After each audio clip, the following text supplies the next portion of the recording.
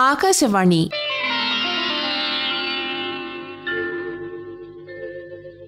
స్మరణీయం. ఆకాశవాణి శబ్ద భాండాగారంలోని అమూల్య కార్యక్రమాలు. స్మరణీయం కార్యక్రమానికి స్వాగతం. మనిషిలోని భావాలను ప్రకటించేందుకు ఓ సమగ్ర సాధనం భాష.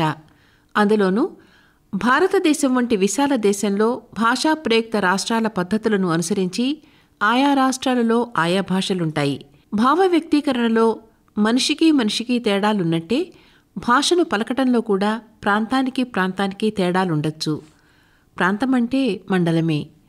ఆ ప్రాంతంలో ఎక్కువ మంది మాట్లాడే భాషని మాండలిక భాష అనవచ్చు. అది ప్రత్యేకమైన భాష కాకపోయినా అది ఓ అంతర్గత భాష. దానిపై పరిసర భాషల ప్రభావం భౌగోళిక పరిస్థితులు వృత్తి కులం మతం ప్రభావాన్ని చూపిస్తూనే ఉంటాయి. తెలుగు భాషనే తీసుకుంటే సాగర తీర భాష ఒక రకంగా ఉంటే రాయలసీమ భాష వేరే రకంగా ఉంటుంది. తెలంగాణ మరో రకం. ఇలా ఒకే చెట్టుకు భిన్న శాఖలుగా వ్యాపించిన మాండలికాల అవగాహన ఆ భాషా పండితులకే సాధ్యం. ఈనాటి స్మరణీయంలో రాయలసీమ ప్రాంత మాండలికాన్ని గురించి గతంలో కేతు విశ్వనాథరెడ్డి గారు ఆకాశవాణితో ముచ్చటించిన అంశాన్ని స్మరిద్దాం. కథకునిగా సాహిత్యవేత్తగా విద్యావేత్తగా అధ్యాపకులుగా తెలుగు భాషకు ఎన్నో సేవలందించిన కేతు విశ్వనాథరెడ్డి గారు తన కథాసంపుటికి కేంద్ర సాహిత్య అకాడమీ పురస్కారాన్ని కూడా అందుకున్నారు. రాయలసీమ మాండలికంపై కేతు విశ్వనాథరెడ్డి గారి ప్రసంగం విందాం. పంతొమ్మిది వందల తొంభై ఎనిమిదో సంవత్సరంలో ఈ అంశం ప్రసారమైంది. అవును. ఏ మాట చెప్పుకోవాలి? ఒకే భాషను మాట్లాడే అందరి మాటలు అచ్చుపోసినట్లు ఒకే రకంగా ఉండవు. భౌతిక పదార్థాలని కానీ భావాలను కానీ సూచించే మాటలు వేరువేరుగా ఉండవచ్చు. భౌగోళిక పరిస్థితులను బట్టి వృత్తిని బట్టి చదువు సంఖ్యల్ని బట్టి మరేదో సాంఘిక ప్రతిపత్తిని బట్టి మాటలు వేరువేరుగా ఉండవచ్చు. ఈ మాటలు పదాలు కావచ్చు పదబంధాలు కావచ్చు జాతీయాలు సామెతలు కావచ్చు. క్రియలో ఇతర వ్యాకరణ రూపాలు కావచ్చు. మాటల ఉచ్చారణలో ఊనికలో కాకువులో తేడాలుంటాయి. స్థూలంగా ఇటువంటి తేడాలను యాస అని అనవచ్చు. ఒక భాషలో అంతర్భాగంగా ఉండే ప్రాంతీయపరమైన వ్యక్తిపరమైన ఈ తేడాలనే మాండలికాలని అంటారు. తెలుగులోని మాండలికాల సొగసులను మనం అర్థం చేసుకోవడం అంటే వివిధ ప్రాంతాల తెలుగు జీవితాన్ని అర్థం చేసుకోవడం అన్నమాట. గురజాడ అననే అన్నాడు. దేశమంటే మట్టి కాదోయ్ దేశమంటే మనుషులోయ్ అని. ముప్పై ఏళ్ళ కిందటి మాట. చిత్తూరు జిల్లాలోని ఒక సమితి ప్రెసిడెంటు ఆయన చాలా పెద్ద మనిషి. మమ్మల్ని ముగ్గురిని ఒక రాత్రి భోజనానికి పిలిచాడు. చంద్రగిరి సబ్ కలెక్టరు ఒక కాంట్రాక్టరు నేను ఆ ముగ్గురం. కాంట్రాక్టరు నేను కడప జిల్లా వాళ్ళం. సబ్ కలెక్టర్ది కర్నూలు జిల్లా. ఆ రోజు చీకటి పడిందో లేదో ఒకటే దబ్బట వాన. సమితి ప్రెసిడెంట్ ఉంటున్న పల్లెటూరును చేరుకోవడంలో మాకు ఆలస్యమైంది. మా ముగ్గురికి. ఎదురు చూసి చూసి మేము రాము అనుకొని సమితి ప్రెసిడెంటు మిగతా అతిథులకు అభ్యాగతులకు భోజనాలను కానిచ్చారు. వెళ్ళిపోయిన వాళ్ళు వెళ్ళిపోగా ఆయన ఒకరిద్దరు ఆ ఊరి వాళ్ళు మిగిలారు. మమ్మల్ని చూసి ఆయన చాలా సంతోషపడ్డారు. ఒక అర్ధగంట కూర్చోమన్నారు. చివరిగా ఒక మాట అన్నారు. మీకోసం చూస్తే అనుకోకుండా ఎస్పీ సారు వాళ్ళు వచ్చిరి. వాళ్ళకు కూడేస్తిమి. నాకైతే ఆయన తర్వాత ఏం మాట్లాడాడో గుర్తులేదు. కూడు అనే మాట మీదనే నా ఆలోచన. తల్లులు ప్రేమతో బిడ్డను కూడు తిందువురా అని పిలిచే పిలుపులు నాకు తెలుసు. కోపంలో విసుగులో ఉన్నప్పుడు పిల్లల్ని తల్లులు కూడు చించుకుందువురా అని అనడము నాకు అనుభవమే. తెలుగు మాత్రమే అంతో ఇంతో వచ్చిన ఆయన ఆ సమితి ప్రెసిడెంటు కూడు అనడం అసహజం కాదు అనుకున్నాను. ఆయన మీద భాషా సంస్కారాల ప్రభావాలు లేవు. అందువల్ల వర్గమాండలికాన్ని మాత్రమే వాడారు. ఈ ఉదంతాన్ని నెమరు వేసుకున్నప్పుడు తర్వాత చాలా కాలానికి వేమన పద్యాలు గుర్తుకొచ్చాయి. కుడువ ముడువలేక కూడు బెట్టగలేక అని మొదలయ్యే పద్యం ఒకటి. కూడు వడ్డికిచ్చి కుర్మితోడుత గంజి తాగునట్టి ఓగు అని సాగే పద్యం మరొకటి. కూడు అనే మాటకు ప్రాచీన కవి ప్రయోగాలు కూడా లేకపోలేదు. ఈ మధ్యనే కడప జిల్లా రచయిత సన్నపురెడ్డి వెంకట్రామరెడ్డి రాసిన కొత్త దుప్పటి అనే కథను మళ్ళీ భాషా దృష్టి నుంచి చదివాను. ఆ కథలోని ఈ సన్నివేశాన్ని గురించి ఆలోచిద్దాం. బువ్వ తాత నెత్తిన అన్నంగిన్నెతో ఐదేళ్ళ సుబ్బలక్ష్మి తాత వద్దకు వచ్చింది. మా తల్లే మా ఎమ్మే ఏ బువ్వ నాయన? బరిగె నెత్తిమీదున్న నెత్తి మీదున్న గిన్నె అందుకుంటూ అడిగాడు. కాదు ఆబువ కూడు బువ్వ అన్నం అనే మాటలను ఈ పదాలతో ఏర్పడే కొన్ని పదబంధాలను పరిశీలిద్దాం. కూడు బువ్వ అన్నం అనే మాటలు గింజ ధాన్యాలతో వండిన ముఖ్య భోజన పదార్థాన్ని సూచిస్తాయి. వాటితో కలిసి భోంచేసే ఇతర కూరానార వంటి అనుపానాలను కూడా సూచిస్తాయి. ఈ పదాలతో ఏర్పడే పదబంధాలు ఇవి. జొన్నకూడు జొన్నబువ్వ జొన్నన్నం. కొర్రకూడు కొర్రబువ్వ కొర్రన్నం. ఆరికకూడు ఆరికబువ్వ ఆరికన్నం. బరిగకూడు బరిగబువ్వ పరిగన్నం ఒరికూడు ఒరిబువ్వ ఒరి అన్నం ఆబువ్వ. ఈ పదబంధాల్లో విశేషణ స్థానంలో ఉండే జొన్న కొర్ర ఆరిక బరిగ ఒరి ఆ ధాన్య విశేషాలు. ఈ గింజ ధాన్యాలు ఉపయోగించి వండేవే కూడు బువ్వ అన్నం. ఇవి సమానార్థకాలు. జొన్నలు కొర్రలు ఆరికలు బరిగలు మెట్టధాన్యాలు. వరి ఆ వడ్ల గింజలు. చెరువు కింద కాలువల కింద పండే పంట.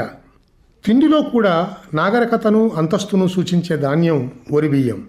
అట్లాగే కూడు బువ్వ అనే మాటలను విద్యాధికులు వాడరు. అన్నం అనే మాటనే వాడతారు. ప్రధాన భోజన పదార్థాన్ని సూచించే మరొక మాట రాయలసీమలో ఉంది. అది సంగటి. రెండు పొడుపు కథలు వింటే ఈ సంగటి విశేషం తెలుస్తుంది. ఏతపు బాణలో తీతువు పిట్టలు ఎత్తను పోతే కరవడానికి వస్తాయి. గూట్లో గుండ్రై. గుండ్రటి వేడి వేడి ముద్దలుగా చేసే భోజన పదార్థం అని ఈ పొడుపు కథలకు అర్థం. జొన్న నూకలను ఉడికించి ఎనిపి బండ మీద వేసి ముద్ద ముద్దలుగా చేసేది జొన్న సంగటి. రాగిపిండితో కానీ సద్దపిండితో కానీ అట్లాగే చేసేవి రాగి సంగటి సద్ద సంగటి. తెలంగాణలోని గట్క లాంటిది. అయితే సంగటి గట్టి ముద్ద. చేతితో ముద్ద నుంచి తునకలు చేసుకొని కూరల్లో అద్దుకొని తినే వీలున్న ముద్ద.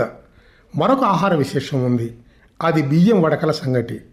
బియ్యం ఉడికించి అన్నం అయ్యాక మరింత ఎసరు వేసి ఎసరు మీద రాగిపిండి అంటే తైదల పిండి తమిదల పిండి వేసి ఉడికినాక ఎనిపి ముద్దలు చేసేది. సబ్సిడీ బియ్యం వచ్చాక పల్లె పట్టుల్లో నాలుగు బియ్యపు గింజలు ఉడికేసుకోవడమే ఎక్కువైంది. అయినా సంగటి రాయలసీమ పౌష్టికాహారంలో భాగమే. అది స్థానిక భౌగోళిక స్థితిగతుల్ని ఆహార సంస్కృతిని తెలిపే మాట. సంగటితో కలిపి తినే కూరల పేర్లలో కూడా రాయలసీమ మండలికం సొగసులున్నాయి రుచులు ఉన్నట్లే. ఏ మాట రుచి ఆ మాటదే.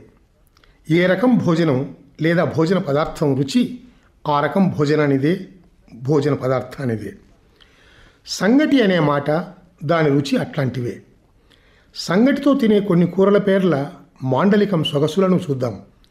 సంగటితో కలిపి తినే కూరలు తెల్లవాయ కారం పచ్చిమిరపకాయల కారం. ఇవి పొడులు చట్నీలు. వీటిలో చేరేవే నువ్వుల ఊరిమిండి శనక్కాయ ఊరిమిండి కందిబేళ్ళ ఊరిమిండి కుసుముల ఊరిమిండి పొద్దుతిరుగుడు విత్తనాల ఊరిమిండి ఇవన్నీ కాయగూరలు దొరకని కాలంలోనూ పేదల ఇళ్ళలోనూ తరచుగా చేసే కూరలు. తెల్లబాయి కారం అంటే వెల్లుల్లి ఎండుమిరపకాయలు కొబ్బెర పుట్నాలు ధనియాలు మొదలైన వాటితో చేసే కారపు పొడి. నేతిపుట్టు కూడా లేకుండా సేద్యగాళ్ళు పేదలు దాదాపు రెండు కేజీల రెండు ముద్దల సంగటిని రెండు స్పూన్ల తెల్లబాయ కారంతో తినడం ఎందరికీ తెలుసు. శనక్కాయ అంటే వేరుశనగ. వేయించిన వేరుశనగ బేడలు పచ్చిమిరపకాయలు లేదా ఎండుమిరపకాయలు ఎర్రగడ్డ అంటే ఉల్లిగడ్డ వీటిని నూరి చేసే చట్నీ. కేవలం ఎర్రగడ్డల ముక్కలను ఉడికించి పప్పుల పొడి అంటే పుట్నాల పొడి జల్లి చేసే కారం ఎర్రగడ్డల కారం. ఇవి స్థానిక వంటలు. వీటిని సూచించే రాయలసీమ మాండలికం పదాలు. వేరుశనగ బేడలు బ్యాళ్ళు సందర్భంలో ఒక విషయం చెప్పుకోవాలి. కంది పెసర ఉద్ది శనగ మొదలైన వాటి పప్పును రాయలసీమలో బేడలు అంటారు. కోస్తాలో బేడ వాడుకలోంచి పోయింది. బేడ పావులాలో సగం రెండనాలు. కూరలు పచ్చి కూరగింజలు దొరికే కాలంలో మటల్ని చూద్దాం. సొరకాయ మటిక్కాయ లేదా చెవలకాయ అనే మాటలున్నాయి. సొరకాయ అంటే ఆనపకాయ లేదా ఆనింగకాయ. మటిక్కాయ అన్న చెవలకాయ అన్న గోరుచిక్కుడు అని అర్థం. మటిక మెటిక శబ్దం నుంచి పుట్టిందేమో తెలియదు. వాటిని విరిచేప్పుడు మెటికలు విరిచిన చప్పుడు వినిపిస్తుంది. చెవలకాయలోని చెవల అనే మాట చెవుల ఆకారాన్ని సూచించే మాట కావచ్చు. వీటి పులుసు తాలింపు కూరలను సంగటితో కలిపి తింటారు. సంగటితో సంబంధం ఉన్న మరొక ముఖ్యమైన పదం ఉంది. అది చీయలు. పొట్టేలు మాంసం చీయలు కోడి మాంసం కూడా చీయలే. చీయల పులుసుతో సంగటి తినడం విందు. అట్లాగే అలసందల వడలతోనూ రొట్టెతోనూ కలిపి తినడం పండగ. వడ అంటే కోస్తా ప్రాంతంలోని గారె. సంగటిగాక పులగం అనే మరొక వంటకం ఉంది. బియ్యం పెసరబేడలు కలిపి వండేది. అనుపానం అన్ని రకాల చట్నీలు పచ్చి పులుసు మజ్జిగో పెరుగో. రాయలసీమ మండలికంలో రొట్టె అంటే జొన్నపిండి రాగిపిండి సద్దపిండి వీటిలో ఏదో ఒక పిండిని తగుమాత్రం నీళ్ళు కలిపి మట్టి పెనం మీదో ఇనప పెనం మీదో నూనె లేకుండా కాల్చి చేసేవి. గోధుమ పిండితో చేసే వాటిని చపాతీలని అంటారు రాయలసీమలో కూడా. రొట్టెతో సంబంధం ఉన్న మరొక మాట ఎర్రగడ్డల కారం. ఎర్రగడ్డలు అంటే ఉల్లిగడ్డలే ముందే అనుకున్నాం. వాటితో ఎండుమిర్చి లేదా పచ్చిమిర్చి కొంచెం కొబ్బరితో కలిపి చేసే చట్నీ ఎర్రగడ్డల కారం. నలభై ఏళ్ళ కిందట రాయలసీమ ప్రాంతంలో ఎర్రగడ్డలన్నా చెడిపోతివన్నా అనే పాట ఉండేది. ఇప్పటి పత్తి రైతుల పరిస్థితి లాంటిది అంటారు? అప్పటి ఎర్రగడ్డలు పండించిన రైతులది. లారీ ఎర్రగడ్డలు మద్రాసు మార్కెట్కు తీసుకువెళ్ళి ఛార్జీలను బదులు తీసుకుని వచ్చిన రైతులు ఉన్నారు. రాయలసీమ మాండలికంలో కడ్డీ చియ్యలు ఎండు చియ్యలు అనే మరో రెండు మాటలు ఉన్నాయి చిత్తూరు జిల్లాలో కరవాళ్ళు అనే మాట ఉంది. మాంసపు ముక్కల్ని ఇనుప కడ్డీకి చెక్కి నిప్పుల మీద కాల్చే కబాబులు కడ్డీ చియ్యలు ఎండబెట్టిన మాంసపు ఒరుగుల ఎండు చియ్యలు కరవాళ్ళు ఎండబెట్టిన చేపలు ఎండ్రకాయలు అంటే పీతలు పుట్టగొడుగులు అంటే గొడుగు ఆకారంలో వానాకాలంలో మెట్టల్లో సహజంగా దొరికే పుట్టకొక్కులు. రాయలసీమ వాసులు ఇవి దొరికితే సంగటితో కలిపి లేదా రొట్టెతో కలిపి తింటారు. రాయలసీమ ఉపాహారాల్ని సూచించే మాటల్లో చాపట్లు ఉగ్గాని లేదా బొరుగుల చిత్రాన్నం ముఖ్యమైనవి. చాపట్లు అనేవి బియ్యం పిండి బెల్లం కలిపి బోలు పెనం మీద చేసే దోశలు లాంటివి. ఉప్పు పిండి అనే ఉప్మా సరే సరే. ఉగ్గాని బొరుగుల చిత్రాన్నం అంటే మరమరాలు తడిపి పులిహోరలాగా చేసే ఉపాహారం. తీపి పదార్థాల్లో అప్పచ్చులు అంటే అత్యరసాలు.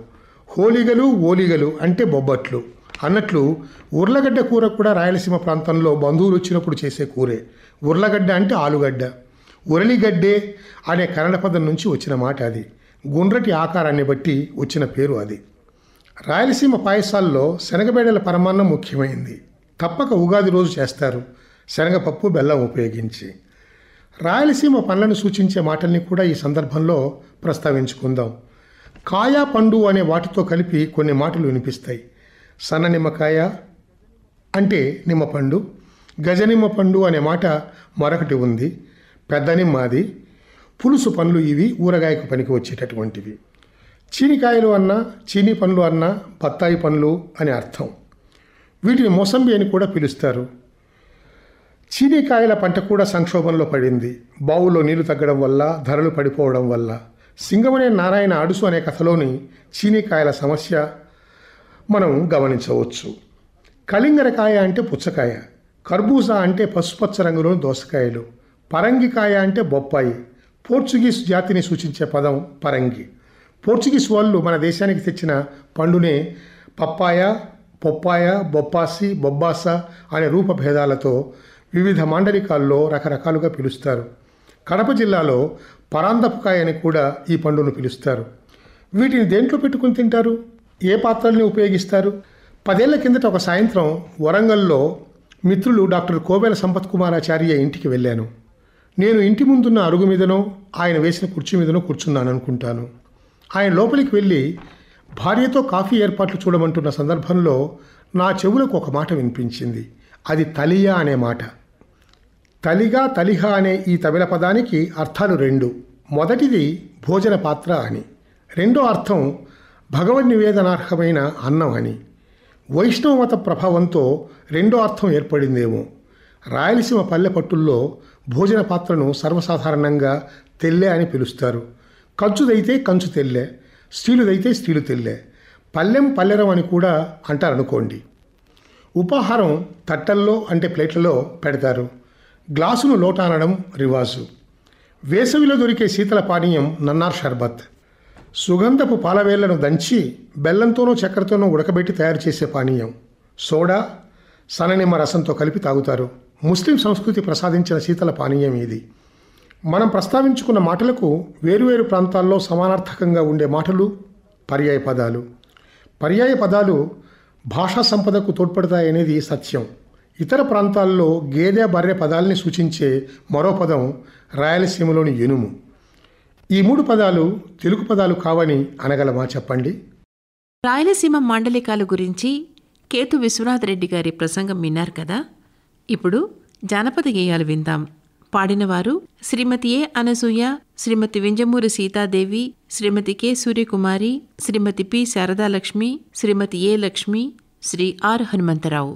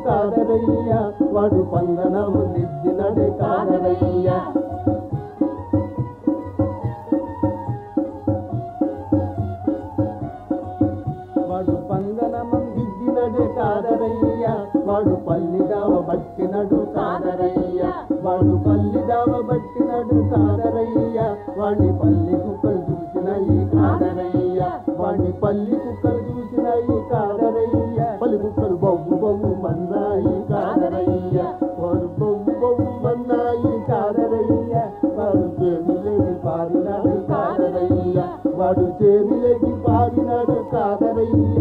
వాడి చేని మంచి చూసినాడు కాదరయ్య. వాడి చేని మంచి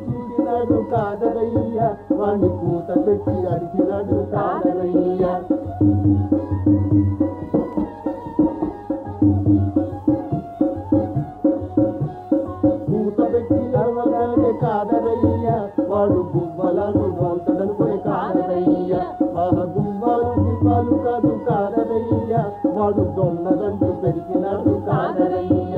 వాడు దొన్నదంటూ పెరుగుతుంటే కాదరయ్య. నాకు చెరుకులిస్తాడనుకునే కాదరయ్య. వాడు చెరుకులు బిరుకులు కాదు కాదరయ్య. వాడు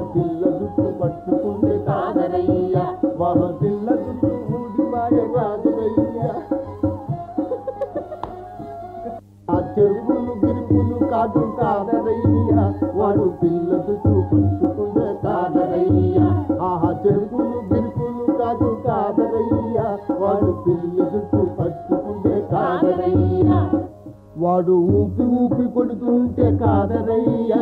ఓ పిల్ల జుట్టు ఊడిపోయే కాదరయ్యా. ఓ పిల్ల జుట్టు ఊడిపోయే కాదరయ్యా. ఓ కాదరయ్యా. ఓ కాదరయ్యా. ఎరగన్ని భూముల్లో నన్నిస్తీరన్న గుమస్తాల గుమ్మడిర గుమస్తాల గుమ్మడిర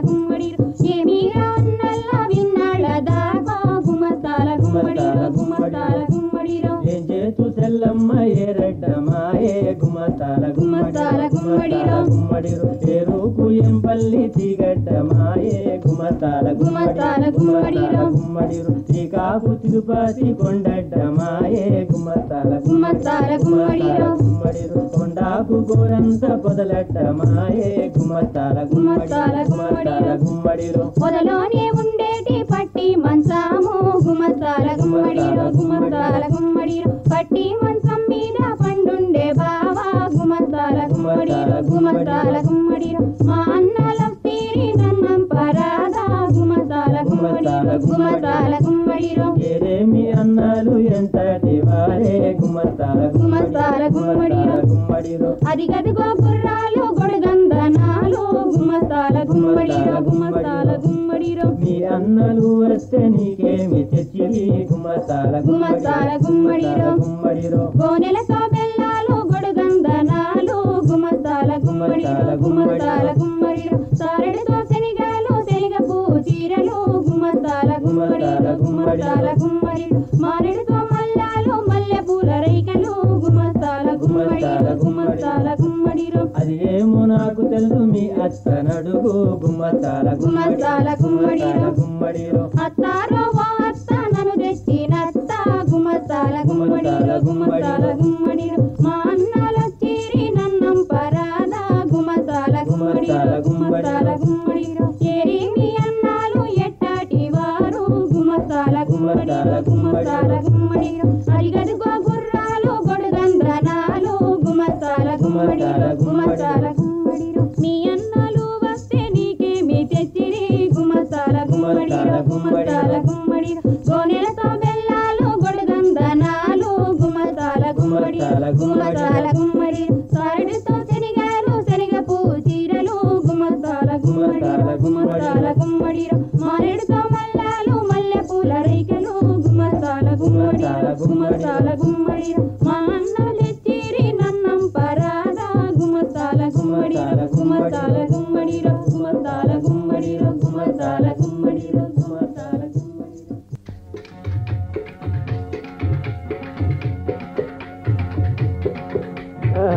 నల్ల మబ్బు నుండి లగ్గో పిల్ల అగో తెల్ల తెల్ల చంద్రుడొచ్చే లగ్గో పిల్ల.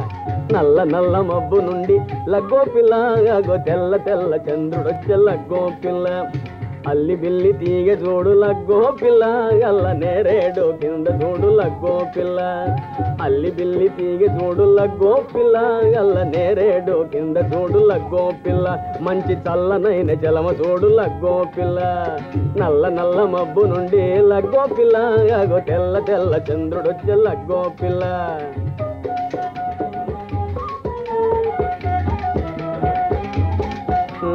నేరేడు నీడలోన లగ్గో నీ చారడేసి కళ్ళు చూపు లగ్గో పిల్ల నేరేడు నీడలోన లగ్గో నీ చారడేసి కళ్ళు చూపు లగ్గో మారేడు నీడలోన లగ్గో నీ బారడంత జడను చూపు లగ్గో మారేడు నీడలోన లగ్గో నీ బారడంత జడను చూపు లగ్గో నిండు పున్నమి నాడు లగ్గో పిల్ల పండు వెన్నెల గాచే లగ్గో పిల్ల.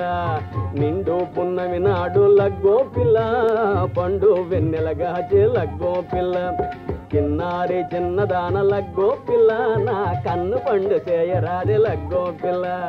చిన్నారి చిన్నదాన లగ్గో పిల్ల నా కన్ను పండు చేయరాది చిగ్గో పిల్ల.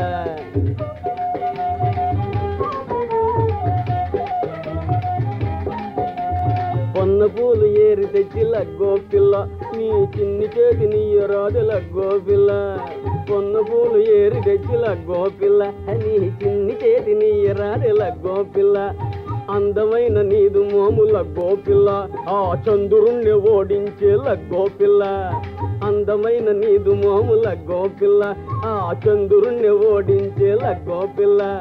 కొన్న రెట్టె చేతి గోపిల్ల మంచి వెన్నబోసి వెంట తేవెల గోపిల్ల. నీ బాధపడలేను నారాయణమ్మ నేను అబ్బరెళ్ళి పోదానే నారాయణమ్మ నే రంగ వెళ్ళి పోదానే నారాయణమ్మ. నీ బాధపడలేను నారాయణమ్మ నేను అబ్బరెళ్ళి పోదానే నారాయణమ్మ నే రంగ వెళ్ళి పోదానే నారాయణమ్మ.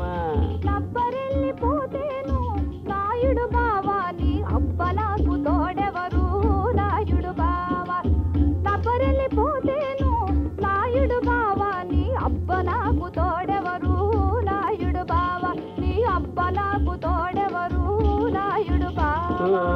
రంగ వెళ్ళిపోతేను నారాయణమ్మ నీకు రంగు చీరలంపుదనే నారాయణమ్మ. బల్ సిల్క్ చీరలంపుదనే నారాయణమ్మ. రంగ వెళ్ళిపోతేను నారాయణమ్మ నీకు రంగు చీరలంపుదనే నారాయణమ్మ. బల్ సిల్క్ చీరలంపుదనే నారాయణమ్మ.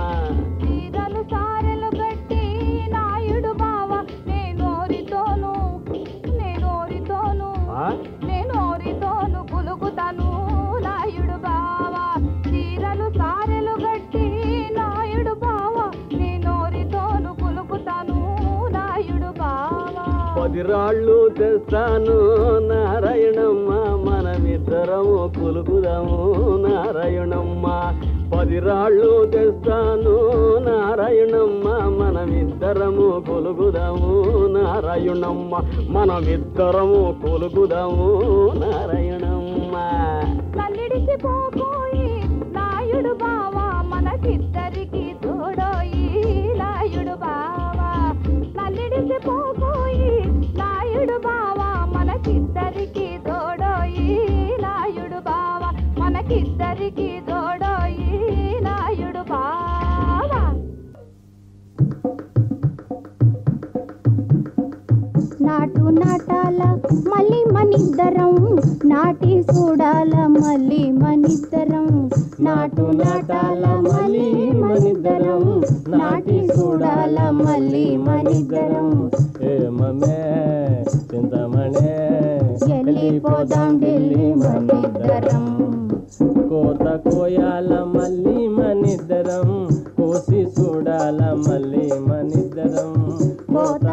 కోయాల మళ్ళీ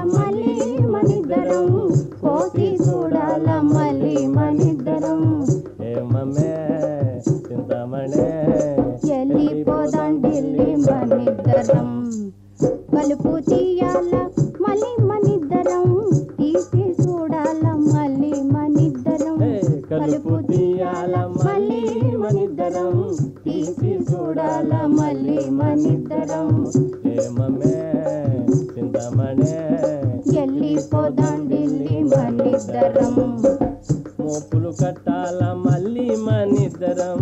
కట్టి చూడాల మళ్ళీ మనిద్దరం. మోపులు కట్టాల మళ్ళీ మనిద్దరం. కట్టి చూడాల మళ్ళీ మనిద్దరం. ఏమమే చింతమణే వెళ్ళిపోదాం ఢిల్లీ మనిద్దరం. బండి తోలాల మళ్ళీ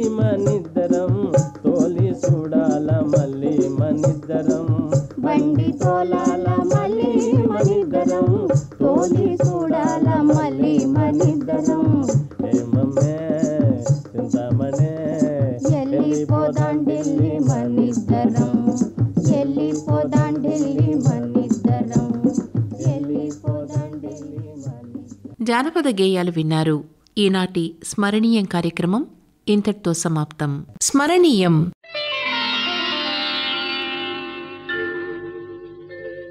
ఆకాశవాణి శబ్ద భాండాగారంలోని అమూల్య కార్యక్రమాలు విన్నారు.